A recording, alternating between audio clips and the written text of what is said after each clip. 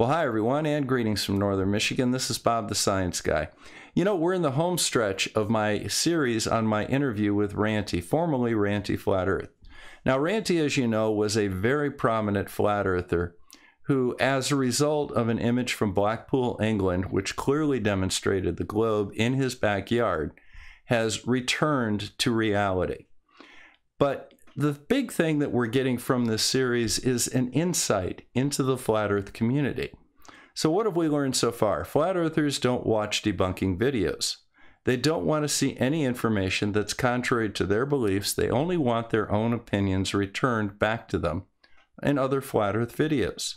They hang out in echo chambers like Nathan Oakley's Flat Earth Debate Show. Now, let's look a little further into what we're learning about flat earthers.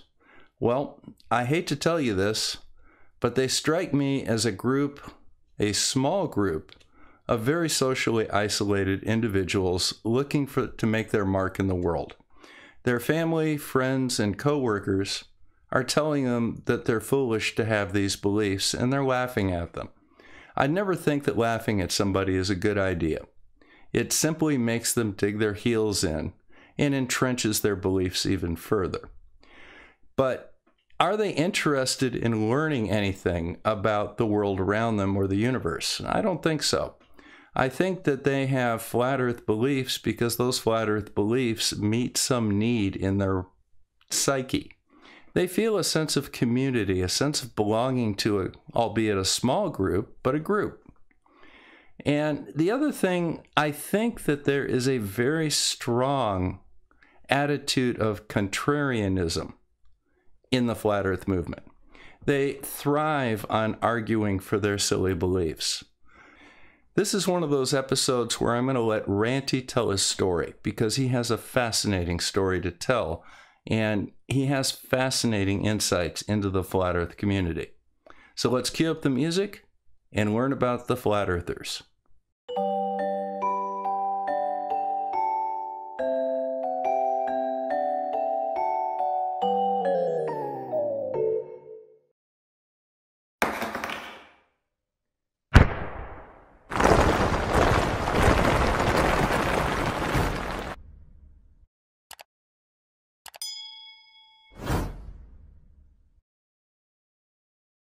When I was 10 years old, I lived in Florida and I looked out at a ship at sea with a pair of uh, field glasses.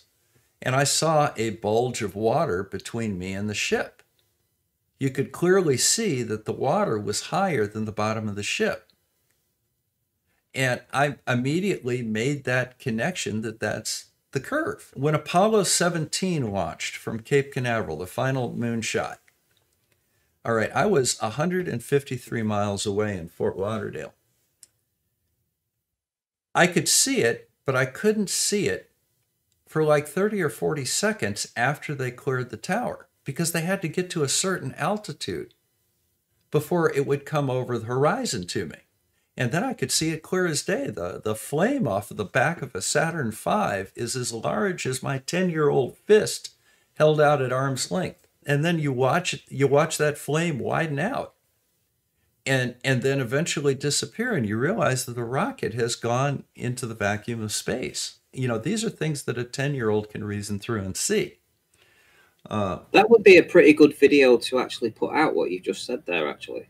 Oh, oh. if there was if there was um, a distance that you could go to let's say 300 or 200 miles away from the launch pad and you could film yourself watching it live on the telly. So you could do a live stream where you're watching the launch live on the TV, and you've also got a camera focused on the area where you would expect to see the rocket. And then it would probably take about 20 or 30 seconds or so before it actually starts to show in the camera that's pointed in that direction. Yeah, so yeah, it's got to get high enough to clear the horizon. So in that respect, you could watch it live and say, "Hey, there's the rocket. It's already at ten thousand feet." And actually, now we can actually visualize it in the other camera because it's just come on now, and you could live stream that. That would kill flat Earth. I'd never thought of that. Well, that would we have it. videos like that though, and uh, Red's rhetoric. No, you haven't got something like that. Yeah, but Red, actually... yeah, But he's got he's got something very specific, and that is that he's got a launch down in Florida that launches at night until and you can see the flame going up and it's dark until it gets to a certain height. And then all of a sudden the sun lights up the exhaust plume plume. And you know you've got to get out of the shadow of the earth in order to do that. And you can do that just before dawn. And you know i mean that kills the flat earth um, mount rainier killed the flat earth with the shadow going upward onto the clouds. And they came up with all sorts of excuses for that.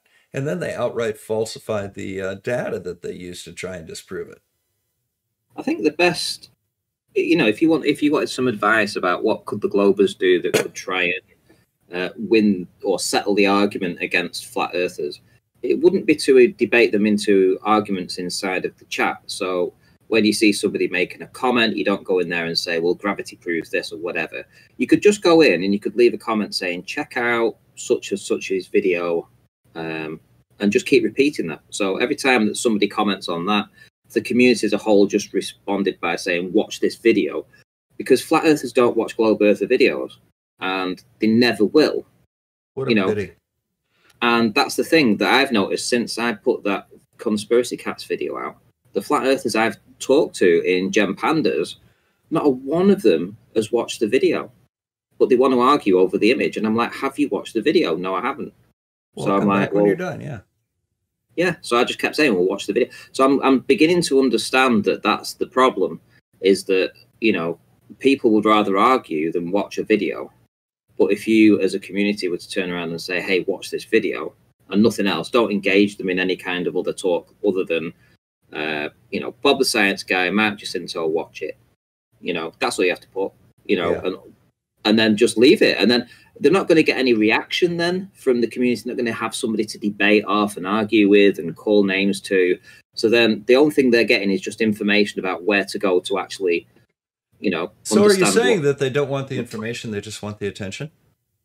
I think so. I think if you look at the um, look at the what's happened recently with me at least, you would have to say that I'm pretty well known in the community, and yeah. that um, when You're I thought pretty well known I, in both communities, though.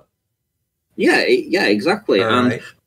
I you come know. out as a globe earther, and this is the reasons why. I expected probably a good twenty percent of the flat earthers to go over and watch the video, right? At least see the reasons why I left the community what's what's transpired is that I haven't found a single flat earther that's gone and watched the video.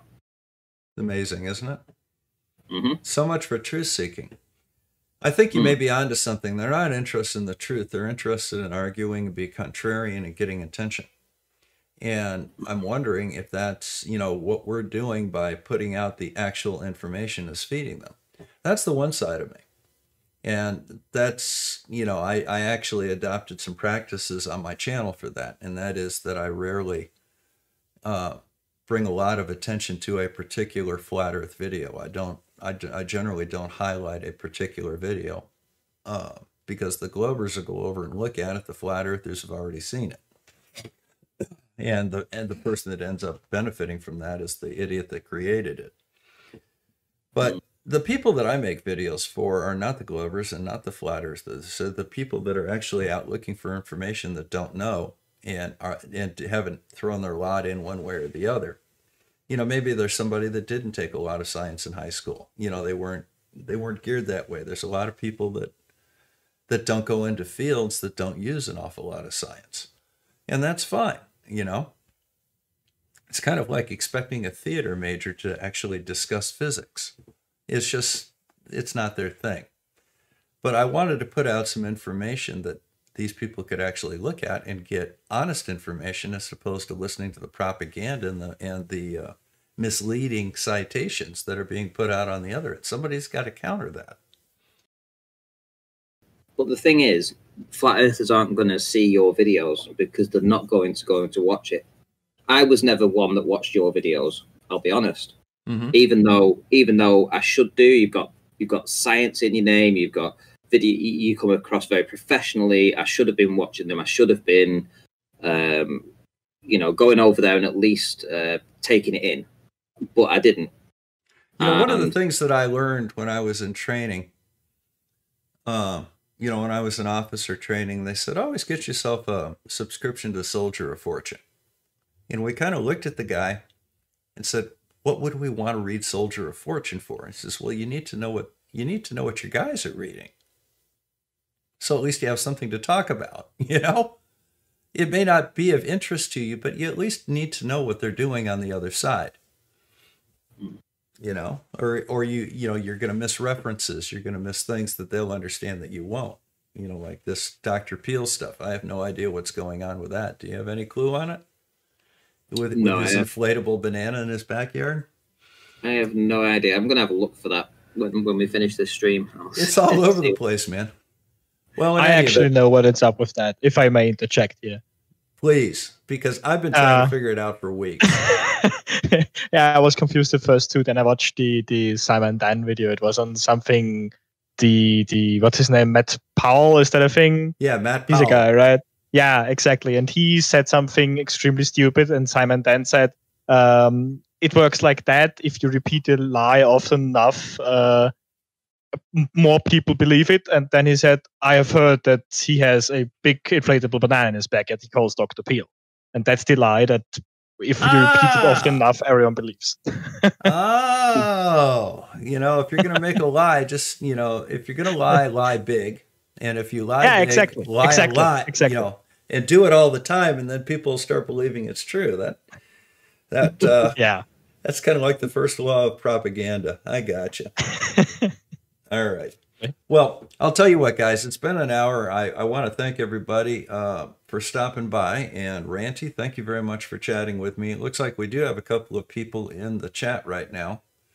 Uh, you, you mind taking just a couple of minutes and maybe uh, hearing any follow up questions from them, and then we'll go ahead and we'll go ahead and shut this bad boy down.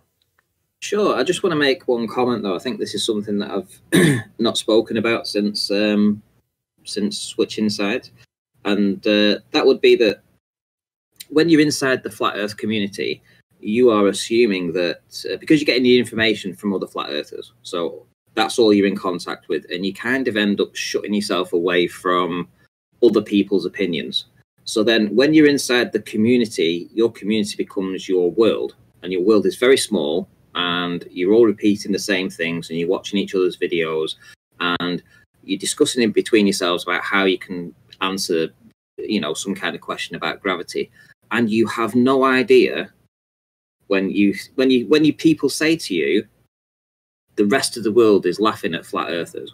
Flat earthers think uh, this is just a conspiracy because they know we are right, and they aren't really laughing at us. They're scared of us because we have the truth. And that's how you feel inside the community when I've stepped out of the community and I look back at it now, and and uh, I know I've only ever for the last two weeks been talking about this publicly, but I've still been since I first saw this image back in uh, February, been considering the idea that the Earth's now a globe. And looking back and looking, be able to look at inside at how the, the community is now from the outside, I can I can absolutely uh, appreciate that the whole world is laughing at flat earthers, and that's you know, to, to know that I was inside that community and one of the the more popular people inside that community, it's um, it's it's very revealing to me to see that. And and uh, but I'm just trying to let you know that when when you're arguing with flat earthers, they all think that you are um, that you're lying to them, and that you're not really laughing at them. You're scared of them, and that they have the truth. Well, the so, honest to God truth is that the flat Earth is basically the pet rock of YouTube.